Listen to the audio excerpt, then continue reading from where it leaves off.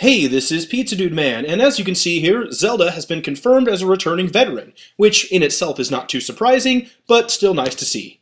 As we've seen with some character reveals in the past, she was uh, announced on the day of the release of a game, in this case Link Between Worlds, which some people speculated would be the case, but the fact that we didn't get a Pokemon reveal for X and Y kind of threw people off.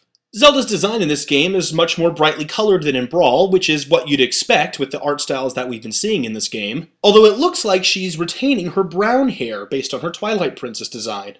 Now looking at these screenshots of Zelda, what I'm really liking about them is that they are using way more emotion with her. And we've been seeing that with a lot of characters, but she just looks so much more characterized than she's ever been in, I think, any Zelda game. Barring perhaps appearances of Toon Zelda.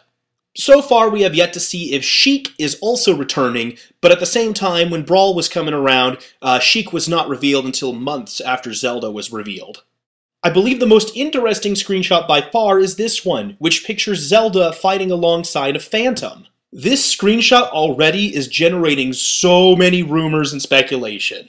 Perhaps it's an assist trophy, although I kinda doubt that given that it wasn't revealed until right now alongside Zelda. I believe that it's much more likely that this is something tailored to Zelda's moveset. But if so, where? Is it just part of her new A-button combo? Is it a new special move? Some people think this might even be a replacement for Sheik. But it's also interesting to note that the Phantom never made an appearance in a realistic Zelda game. So some people also believe that this might perhaps deconfirm Toon Zelda as a potential newcomer. Or who knows, maybe there will be a Toon Zelda who will use a Toon-styled Phantom and they will have the exact same moveset just like Link and Toon Link.